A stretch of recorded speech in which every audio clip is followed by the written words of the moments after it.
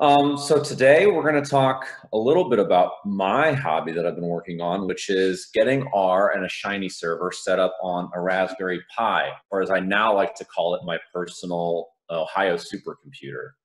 It's not nearly as powerful. Uh, it doesn't do nearly as much, but it's a fun learning experience as far as getting into interacting with computer that doesn't really have any obvious entry point because there's no keyboard, there's no monitor on which you can attach it. So how do you use this sort of thing? Um, and that gets me into the table of contents. You know, we're going to talk a little bit about why I would want to do this. And then I'm going to, you know, lay out the guide as to how to do this and show you uh, a very simple, and I cannot emphasize this enough. It's an incredibly simple quote unquote machine learning model embedded into a Shiny application. We'll end with an overview of uh, what we've kind of learned here today and then where I think something like this could go to next for me personally or for anybody who wants to take on this painstaking challenge of getting a Shiny server onto a Raspberry Pi. Um, and so with that, why? Well, I got a Raspberry Pi as a Christmas gift a couple of years ago, and I needed to make use of it and do something cool with it. So that's one reason. Then there's the other reason, which is shinyapps.io, which is a really easy and awesome way to deploy uh, Shiny web applications, only allows up to five web apps active at any one time on their free tier. And as my Raspberry Pi gift was also free to me, I kind of view those in the same thing. And I'm wondering if I could store more applications on a Raspberry Pi than on shinyapps.io. But really, the main point about this is to learn for myself all about servers and networking and source installation and compilation of software and a whole new world of programming in the, in the likes of like terminal commands and Git and Linux. And so we're going to talk a little bit about more of that. Um, and and what this really expands upon is is how how much more there is to support a, a, machine learning model in a, in a web application to make that model usable. As uh, I, I first came across R in grad school, which was which was great, and and then as I got into industry, you know, I was so obsessed with my little machine learning model or my little like you know basic regression model, and I thought that, that was the end all be all. I was always focused on learning new algorithms for making better predictions with more data, different kinds of data, and stuff like that. And then I started to realize that there's this whole other world and i actually i wish i had an aladdin meme or something in here because there's this whole other world out there in in the support systems and the infrastructure that it takes to make usable our our um, our what I now consider small machine learning models. This this is what a lot of us as data analysts, data, citizen data scientists, PhD actual data scientists it's this little green box that we're working on, but there's all of this other stuff. And don't get me started about the nebulous cloud infrastructure that can, all of this can be wrapped on top with. You've got virtual machines and all sorts of stuff like that. But at the end of the day, you know, we have a user interface and some visualizations that are, you know, using, you've got data ingestion processes and storage of that data, and then you got to handle load balancing, and you got to have security. Not anybody can just log into this. And then, and then all that is fed through into your machine learning model, and you get some results, and hopefully those results are useful to some people but there's a whole lot more in the background that goes on. And I kind of wanted this to be a project for me as a personal hobby, but so that I could be a better communicator and uh, a better translator between the IT personnel and the leadership personnel within my company. Um, and so that's kind of why I wanted to do this. So now we're going to get into a little bit of the how. I'm going to I'm going to walk you through this step-by-step guide um, and and you know show you a little bit of the things that we can do. The Raspberry Pi comes standard with uh, they they have a, a micro SD card basically, and you would flash the latest um, operating system onto that micro SD card, and that uh, that operating system is affectionately called Raspbian. um, which is just a Debian version uh, uh, distribution specifically built for the ARM architecture of this chip. Uh, an interesting note, side note, is that Raspberry Pis are built off the ARM architecture. And if anybody's been paying attention to Apple lately, they just came out with an ARM chip version of their MacBook Pro, their iPad series, and, and everything like that. It's an M1 silicon chip. The problem is that R doesn't have the latest Fortran compilers built for it. And so it, there you'd have to install a whole bunch of stuff from source instead of just doing a default R and RStudio install. So Mac is not really up and running yet um, with their new M1 silicon chips. But this is kind of, you know, we're going to be doing a lot of installation of, of software from, from source code. And I had never had any experience with that before taking on this hobby project of mine.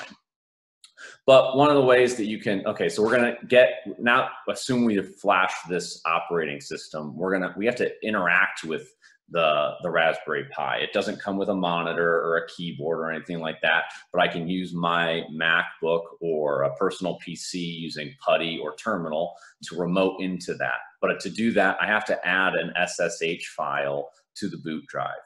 Once that's done, I can eject it and insert the SD card into my Pi. And then I can, you know, connect the Pi into a power source and an ethernet cable um, either directly into uh, my my PC to share my wired connection or directly into my router to, to get um, an Ethernet directly to the Pi. Um, you use a simple SSH command with Pi at the Pi's IP address, and then we want to update and upgrade the software on the Pi. Um, and then if you can change your password, a lot of this stuff is available. You know, this is like this basic setup for a Raspberry Pi all comes from the Raspberry Pi org. They have tons of forums and tutorials. That's where I, I learned most of this information. Um, but now we're going to get into setting up the basic server environment. And Nginx is a classic, and so is Post PostgreSQL for a database for managing and storing our data that we would like to use and persist into our web application. Um, and Nginx is just a classic HTML server that will that will be used to host sort of on the back end the, the Shiny application. Um, so those are as simple as basic terminal commands. sudo is a super user. You're going to go out and get the and install the Nginx. And then I learned a whole bunch about like chown commands and like what these numbers mean.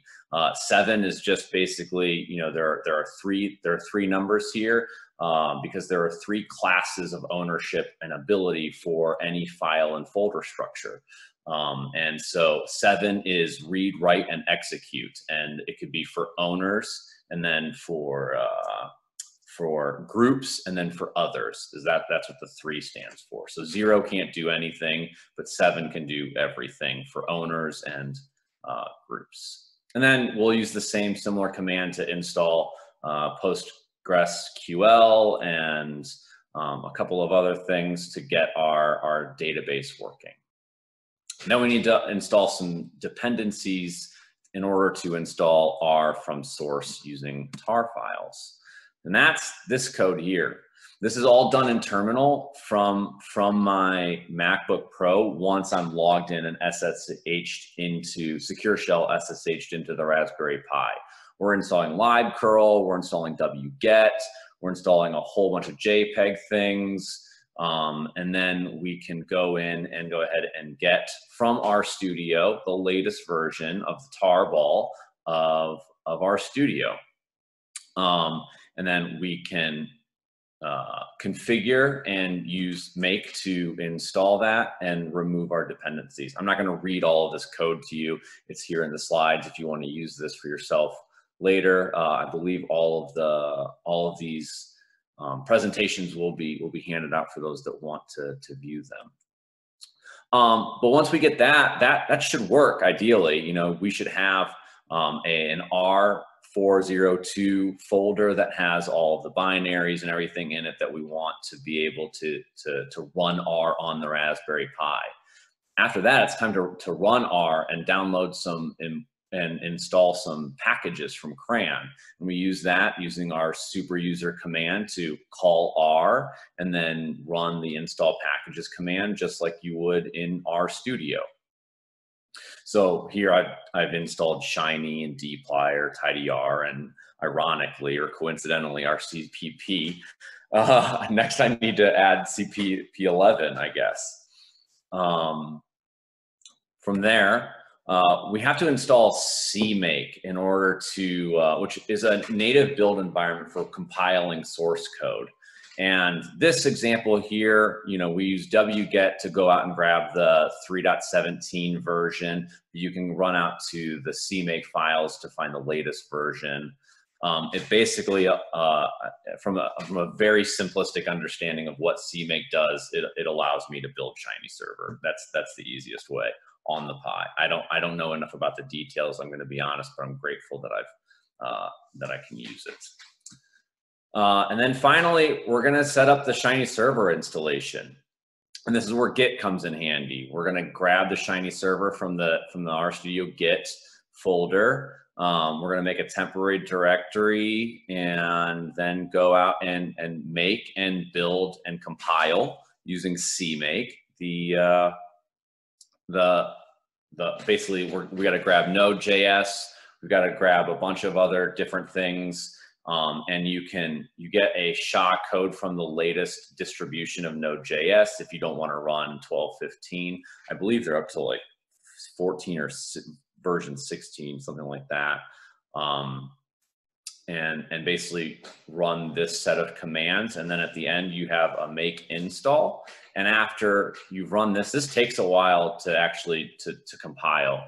The, the Raspberry Pis, while they are my own personal, while this is my own personal Ohio supercomputer, it's not very fast and it doesn't have a whole lot of power. Four gigs of RAM, which is way better than it used to be, but still not, not everything. So go grab a cup of coffee or a few, go out to lunch and wait until this is done. And then you can configure the, uh, the Shiny server. And this is just adding different folder structures um, and directories within the Shiny server framework so that you can add your apps to them and they can be served on your, uh, on your, on your HTML uh, server application. Um, and so you know, we have this server. The one, the one folder that I do want to point out um, most is the server Shiny server. This is the folder that we'll be using to to copy and paste any apps or build any apps and host them on there. You've got your UI and your server.r files, or all in one in an app.r file. And then uh, we'll provide ownership permissions with read, write, and execute for all three uh, class types, uh, as we talked about a little bit earlier. Uh, and then finally, part two, we want to uh, enable an auto start feature. So if the Pi is, is um, will reboot automatically and updates and stuff if you set your Raspberry Pi up to do that, which we, we I haven't done in this particular example. Every time the Pi reboots, the Shiny server will, will boot up and start again. And then you can run at the, this below command at the very bottom um, to, to start your Shiny server. And I'll show you what that looks like and how, and we're, we're gonna go through a live sort of short live code demo of, of what it looks like to log into my Pi uh, and then and then start the Shiny server and go look at the, the little mini uh, machine learning web app that I did. There are some other permissions set up that you can do for adding users like Shiny apps and Shiny and the Pi. Um, and so that's a little bit of code to do that. Uh, and now, now that now that we've added permissions, we've configured our, our Shiny server, we can go ahead and uh, basically add an app if you like to to that server folder. So I've developed an app.r file on my Mac PC and I can secure copy it from my Mac PC to, to the Raspberry Pi folder using secure copy in the terminal program. That's already done.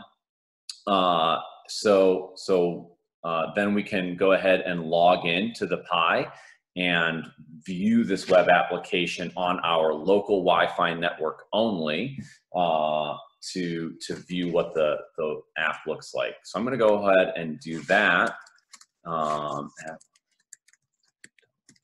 seven. It's gonna ask me for my password. Pi software comes standard with the password of Raspberry, but you know, for your own personal protection, it's important to change your password, and that's really easy to do. Um, and like I showed in this slide, we're gonna use this code to start our Shiny server.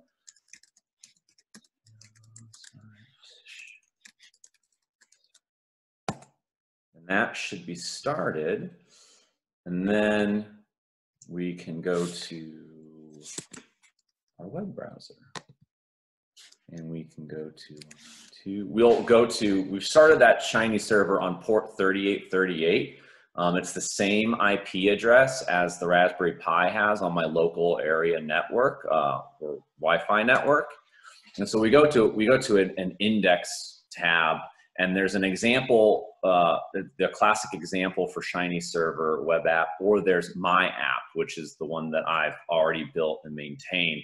And a little bit about that before we go and visualize it for sure. It is super simple. It doesn't actually use that uh, SQL database that I installed. Uh, it's using the, the Iris data set and I'm doing a logit uh, generalized linear model, and I'm building you know, a, a, simple title panel fluid page with a an output prediction and a plot, if you will, and then we run that. This is it's as simple as it gets. It's a two two input model to predict the likelihood of uh, of a species type, for instance and it's running a little slow, but it's coming. But then I, the cool thing about this is like, you know, if I wanted to build something, you know, for my management team at work, you know, now I have the experience of interacting with a server and getting the, you know, the uh, allowing people that want to interact with the model itself to be able to, to, to do that. You know, we've got toggle effects here where we can change the prediction value. And so, as you know you slide the width of your petal or the length of your sepal width it changes the prediction value of the likelihood of whether the species is virginica or not basically. Um, and so with that um, you know as kind of a, a, you know an overview of what we've learned. We've i learned how to flash an operating system. I'd never done that before. Um, i learned how to access a remote server using secure shell. Um, i learned a bunch about basic terminal commands and uh, how to install a basic html server using git using a, installing a sql database. Um, but but most importantly, I have a newfound appreciation for all like like for the longest time my my focus had always been on making the model and making a good model and there's a there's a person and that is their job for sure but now I have a newfound appreciation for everything else that goes on in the infrastructure and the software to support that model and get it and make it the most usable and efficiently usable as possible. So we've learned a lot. Um, from here, where I think I would want to take this is to redo all of this using Docker or some container orchestration. Or if I don't feel like that, do a fully full-fledged end-to-end machine learning model for something a little more complex where the cool thing about the Raspberry Pi is where you can like attach like temperature sensors or like humidity sensors, all, all sorts of things can be attached to this little device. It, it's crazy. So, you know, throw a temp sensor on here, you know, and, and, and create a data engine to read and, and write that data to my, the SQL database that we, that I installed. Um, and then feed that into a machine learning model and visualize the inputs and results through a Shiny app um, and and make it usable. And and then it just sits out here. A lot of times, I think a lot of data analysts they spend so much time trying to put together reports in Excel or PDF form, and even if it's a weekly or a daily report that goes to their leadership team, uh, they spend a lot of manual effort doing this. But if you can get a server up and running for your organization and and host the results and the reports on that server that just updates automatically and only the code base needs maintained every so often I think that makes everybody much more productive and much more uh, much more valuable in the end.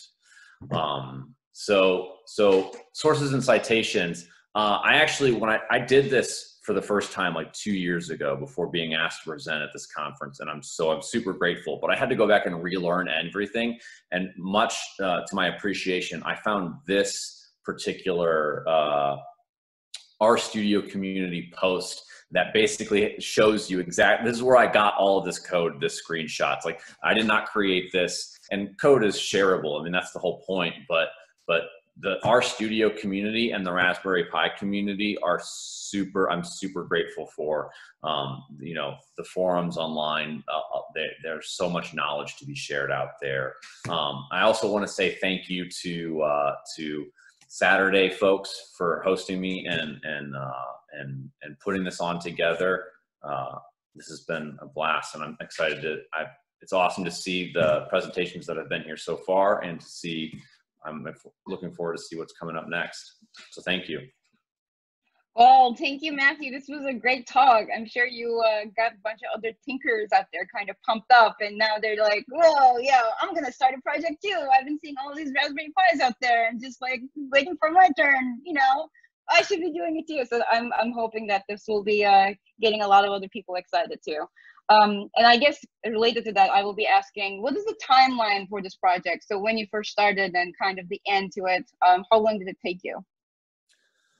Uh, well, so I've done this twice because, like I said, I did it about two years ago, and it took me it took me probably two months because there wasn't uh, a very concise uh, RStudio community uh, write up of, of how to do it all. So I was kind of like going through and picking things and piecemealing, working them together. Um, but then to go back and, and having to relearn how to do it, thankfully with this and some other tutorials, it took me about two weekends because um, there was still some troubleshooting. You know, tutorials are, are only uh, updated as of the day that they were written, and then the next day they are obsolete and things break and they don't work. So even though there's that great tutorial out there, I guarantee that if someone were to try and use my slides or use that link to go and do this themselves, they would still find themselves in some in some bit of trouble and needing to troubleshoot. So yeah, about two weekends, two solid weekends. Probably a good point.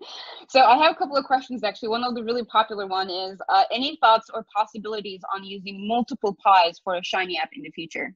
Yeah, absolutely. So um, there are there are tutorials out there on the Pi organization uh, forums where they actually create what they what they affectionately call uh, the octopi, which is basically eight Pis hooked together, and they're running a Kubernetes cluster, and they've got an orchestration Pi that handles all of the load balancing on everything, and they basically make their own mini supercomputer. Each one of the new Raspberry Pi 4s has about four gigs of RAM. So you know, multiply that by by eight, and you you you could have some some power in your hands. Um, yeah, that's that's really cool. Um, and another question is a little bit more philosophical and, and asking, what was the biggest paradigm shift you had after completing this project? So, say again, sorry. What was the biggest paradigm shift you had after completing this project? You had mentioned wanting to grow into a bridge between IT and leadership. Yeah, I, so just being able to to the paradigm shift for me was really appreciating all of the back end work that goes on to making my success as a as a data citizen data scientist or data analyst possible. Like, you know, I spent a lot of time just so focused on how important the model is, but really having a good back end and infrastructure and the time and detail that it takes to do that. A lot of leadership personnel don't really appreciate that so much. They think, well, it's all computer, it just does it for you. And it doesn't do it. There's a lot of manual labor that goes into making things like this possible. Oh yeah, that's our pain for all of us, don't we know? all right, thank you so much, Matthew. This was a great talk. Um, and we will leave the chat on this time actually for the break. So if you have any additional questions for the speakers and speakers, if you're around, please feel free to chat with the um, audience and audience just with each other. Hopefully that will generate some good questions and good conversation. So thank you very much for that. And then I will let the uh, next speaker take over, Trevin Flickinger.